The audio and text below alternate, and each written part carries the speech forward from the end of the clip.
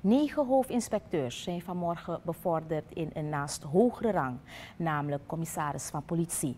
Dit is de één op na hoogste rang binnen het Korps Politie Suriname. Zeven heren en twee dames zullen voortaan in deze nieuwe functie dienen.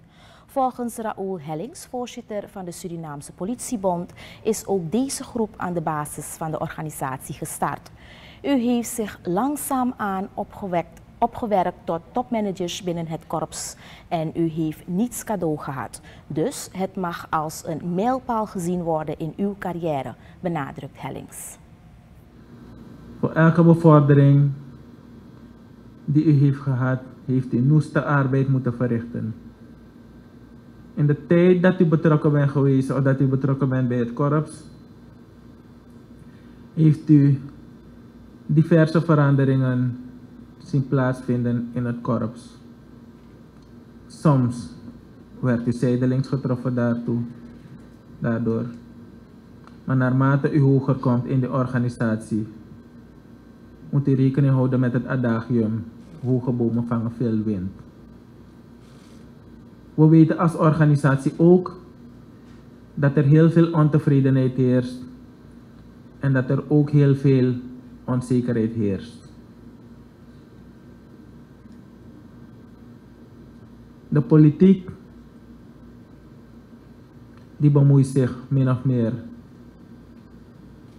met tal van beslissingen in het korps. Maar dat is iets wat we voor lief moeten nemen. Volgens Roberto Prade, korpschef van het Korps Politie Suriname, hebben de functionarissen lang gewacht op dit moment. De korpschef geeft verder aan dat deze bevorderingen heel wat voeten in de aarde hebben gekost. U hoort ook Stuart Getrouw, minister van Justitie en Politie, die aangeeft dat de handelingen van vandaag goed overwogen zijn. Wat belangrijk is, de voorzitter heeft het gezegd, uw rechtspositie, daaraan komt niemand. En uh, als er een, een, een verandering gaat plaatsvinden, waarvan wij uh, overtuigd zijn dat het in belang is van de organisatie, en wat in belang is van de organisatie is sowieso ook in belang van de samenleving. Dan kan het eigenlijk niets anders dan dat de medewerking wordt verleend. Ik heb in mijn speech ook aangegeven toen bij de installatie dat ik van ieder verwacht dat het groter belang voor ogen wordt gehouden. En dat we daarbinnen ons eigen belang gaan positioneren. En het prettige daarvan is ook een aantal van u heeft een bijdrage geleverd aan mijn vorming. Waardoor het iets makkelijker is geweest om tot dit besluit te komen. Desalniettemin wil ik toch wel aangeven om niet voorbij te gaan aan een tal van zaken. De competentie is er, misabi. Ja, die ondersteuning komt. Maar scherp, want men is er niet happy mee.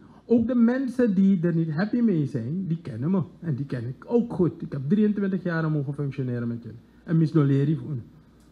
Dus ik weet precies waar de, waar de sterke persoonlijke eigenschappen zijn en de minder sterke. Dus het is een wel, welgenomen besluit. De man dat na ampele overwegingen wel die snijdt. Minister Stuart Getrouw van Justitie en Politie en daarvoor Roberto Prade, korpschef van het Korps Politie Suriname. Zij spraken vanmorgen voor de bevordering van negen hoofdinspecteurs tot commissaris van politie. Het gaat om zeven heren en twee dames. De bevordering vond plaats op het hoofdkantoor van het korps van het KPS aan de Duisburglaan.